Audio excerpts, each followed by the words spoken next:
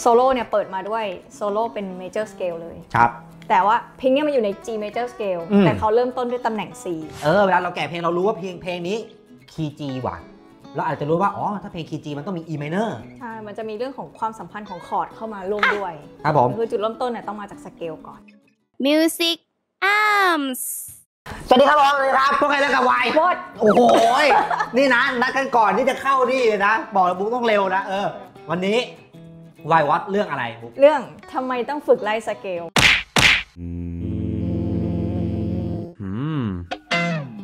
อ่าฝึกไปทำไม เออ ก่อนที่จะเข้าเรื่องสเกลมันคืออะไรก่อน สเกลคือบันไดเสียงอะ จากต่ำไปสูง ในที่เนี้ยจะเปรียบเทียบให้ฟังง่ายๆ ก็คือสเกลเนี่ยเหมือนแผนที่ อืม เราเล่นไว้ เราเก่งสเกลเนี่ยเราจะได้ไม่หลงทางอ่าเวลาเราเล่นในเพลงเพลงหนึ่งเนี่ยถ้าเราไม่รู้สเกลเหมือนเราคำหาไปเรื่อยอืมเพี้ยนแล้วก็ไม่รู้ว่าเพี้ยนอ่าแล้วมันดียังไงสเกลถ้าเราฝึกมันอะอะข้อดีข้อแรกก่อนเลยนะบุ๊กแนะนำว่ามันช่วยฝึกกำลังนิ้ว มือซ้ายอืมช่วยฝึกกลางนิ้วอืมส่วนมือขวาเนี่ยช่วยเรื่องของความสัมพันธ์ เวลาดีดกับมือซ้ายนะอ่คะให้รู้สึกดีดลงว่าดีดขึ้นอ่าครับผมให้คุณภาพเสียงเนี่ยมันได้เท่ากันอืมข้อที่ 2 ก็คือ เราจะได้รู้ตำแหน่งแล้วก็ จำช่องโน้ตบนคอกีตาร์ได้อย่างแม่นยำอะคือพอเราไล่สเกลเสร็จปุ๊บ เราอาจจะจำได้ว่า root ตัวนี้มันอยู่ที่ dot ตัว inlay ตัวไหนอันเนี้ย inlay ก็มาช่วยได้ในการจำสเกลใช่ไหมใช่อ่าครับผมส่วนข้อสุดท้ายเนี่ยคือสำหรับแบบว่าเราเอาไปต่อยอดได้ก็คือช่วยให้เราแต่งโซโล่ได้ ก็คือเอาเอาสเกลมาเป็นเหมือนเป็นโครงร่าง แล้วเราจะสลับโน้ตตัวไหนจะยืดจะหดจะเล่นเทคนิคอะไรอยู่ในสเกลนั้น ใช่อืมเหมือนเราเลือกตัวโน้ตได้แม่นยำขึ้นว่า ตรงเนี้ยฉันอยากได้โน้ตอะไรอยากได้อืมโน้ตแบบไหน คือก่อนที่เราจะก่อนที่เราจะเล่นอะไรหรือว่าจะทำอะไรอย่างแรกที่เราสำคัญที่สุดคือการความเข้าใจ ใช่ค่ะคือถ้าเราเข้าใจก่อนว่า มันเป็นยังไงอะมันจะทำให้ทุกอย่างมันง่ายขึ้นสเกลเนี่ยมันไม่ได้มีแค่โน้ตที่เป็นโน้ตเท่านั้นมันเป็นมันเป็นอ่าเรื่องของคอร์ดด้วย เป็นตัวเชื่อม คอร์ดนี้ไปหาคอร์ดนี้เนี่ยมันต้องใช้สเกลเข้าช่วย C มีโน้ต C D E F G A B ใช่ปะแต่พวกเนี้ยมันมี major minor ในนั้น ใช่ เออ เวลาเราแกะเพลงเรารู้ว่าเพลงเพลงนี้คีย์ G ว่ะ เราอาจจะรู้ว่า อ๋อ ถ้าเพลงคีย์ G มันต้องมี E minor ใช่ มันจะมีเรื่องของความสัมพันธ์ของคอร์ดเข้ามาร่วมด้วยครับผมคือจุดเริ่มต้นเนี่ยต้องมาจากสเกลก่อนอะแล้ววันนี้เข้าเรื่องเลยเป็นยังไง วันนี้บุ๊กจะยกตัวอย่าง2สเกลง่ายๆ เอาอืมที่แบบว่ามือใหม่ก็เล่นได้อืมอันแรกก็คือเป็น C major scale แบบ 3 โน้ตต่อ 1 สาย กับอีครักบอันนึงเป็น chromatic scale ครับเป็น C เหมือนกัน เดี๋ยวบุ๊กจะเริ่มจาก C major scale ให้ดูก่อนนะอืคะมครับ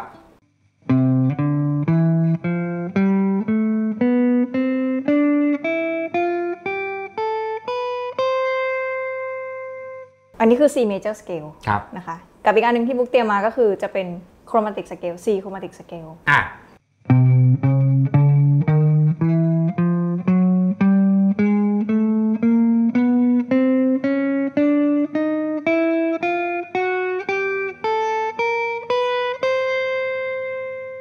ความแตกต่างของของมันก็คือ C major scale เนี่ย มันจะเป็นเหมือน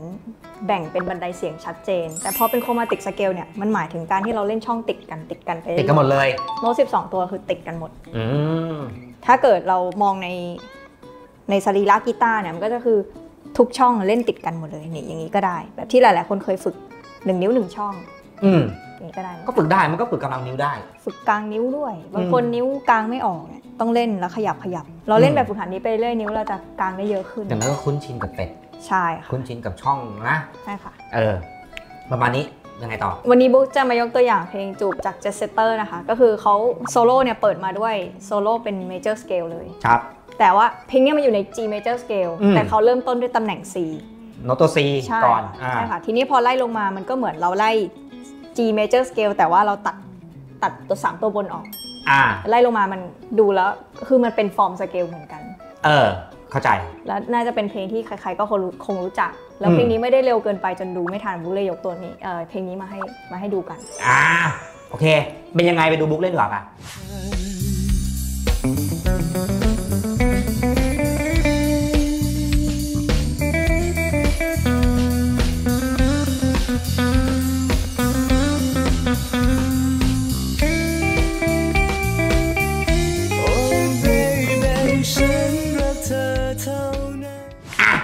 เห็นไหมว่ามันจะมีแบบว่าเล่นเป็นแบบเดเดเดเด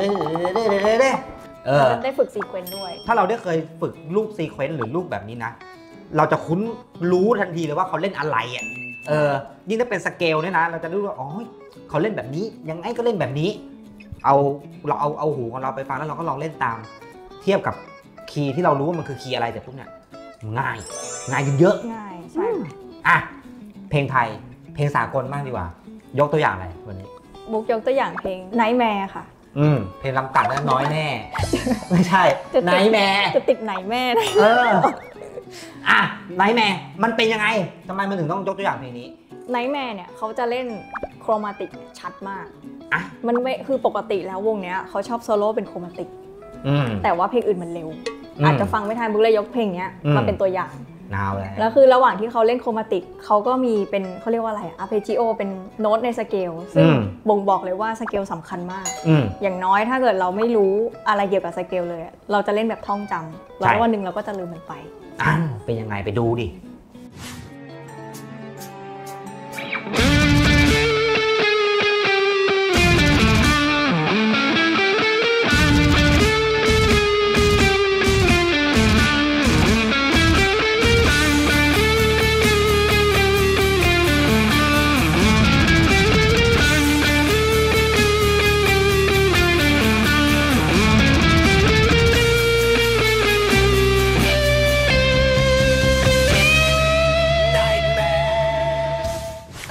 เห็นไหมว่ามันคือเพลงไนท์แมร์เนี่ยนะ ท่อนเนี้ยเป็นความหวังของทุกๆ คนที่อยากจะเล่นเพลงนี้ครับ เพราะว่าเล่นได้ทุกคนเล่นได้แน่นอน แต่หลังจากนี้อะ